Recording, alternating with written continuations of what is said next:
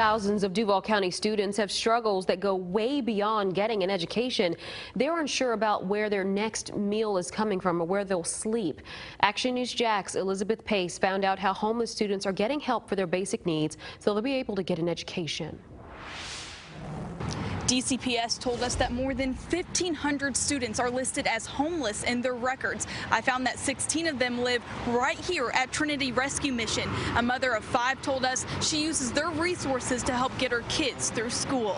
You have basically what's in your car and your children and your husband. And, and that's just crossed my mind like I have to do something to help take care of these people. Christy Britton has five kids in the DCPS system, and now they have uniforms to wear to school thanks to Trinity Rescue Missions. We've always tried to provide the best we could, but they saw when things were getting thin. I spoke to the St. Johns County School District and found out 336 students are listed as homeless in their system. Combine that with more than 1,500 homeless students in Duval County.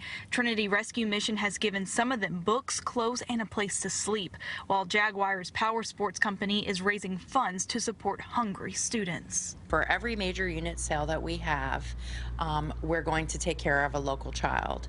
So if I have 10 sales today, we're going to feed 10 kids for the next month. We have never been in a situation where we've been homeless before, and I can definitely say that coming here has made that transition easier. And when I talked to Duval, St. Johns, and Clay County school districts today, they say they too have different programs to help those students, including free lunches and uniform programs. So we put all those details online and on our app. Reporting downtown, Elizabeth Pace, CBS 47, Fox 30, Action News Jax.